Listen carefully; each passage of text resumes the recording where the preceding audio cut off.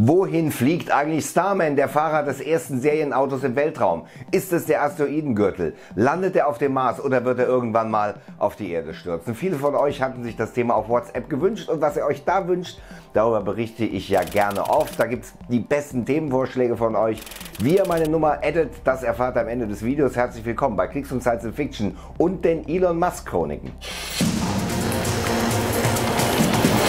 Hat also Elon Musk noch einen letzten Coup mit Starman vor oder wird er jetzt ganz unspektakulär durch den Weltraum fliegen bis ans Ende der Tage? Erstmal unspektakulär ist offensichtlich anders, vor allen Dingen im Zusammenhang mit dieser Geschichte eine absolute Untertreibung. Mit seinem Tesla Roadster als Testfracht für den Erstflug der Falcon Heavy hat uns Elon Musk alle so richtig geflasht. Was für eine unglaubliche Idee und welch unfassliche Bilder. Das Ganze noch gekrönt von ein wenig Popkultur mit dem Hitchhiker's Guide Through the Galaxy an Bord, der Musik Space Oddity von äh, David Bowie aus der Stereoanlage und natürlich einem Handtuch im Handschuhfach. Absolut irre war das. Aber wohin fliegt dieses ungewöhnliche Raumfahrzeug jetzt eigentlich? Von Elon Musk waren bisher nur widersprüchliche Aussagen zu hören zum Mars, zum Asteroidengürtel und das alles scheint nicht zu stimmen. Jonathan McDowell vom Harvard Smithsonian Center for Astrophysics in Cambridge im US-Bundesstaat Massachusetts, die hat die bisher bekannten Daten analysiert und weiß jetzt, wohin der Tesla unterwegs ist.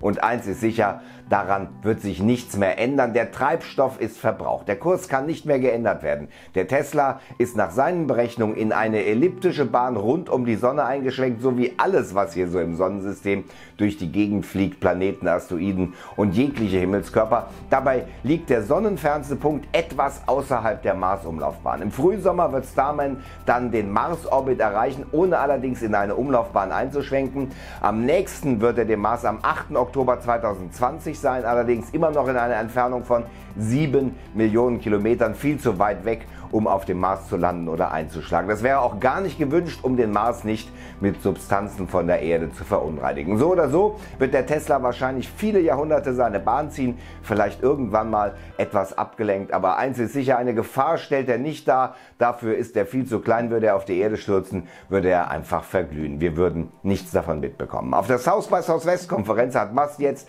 der neue Meilensteine verkündet. Die Big Falcon Rocket soll erste kurze Flüge bereits in der ersten Hälfte des nächsten Jahres machen. Damit wäre das erste interplanetare Raumschiff der Menschheit absolut im Zeitplan.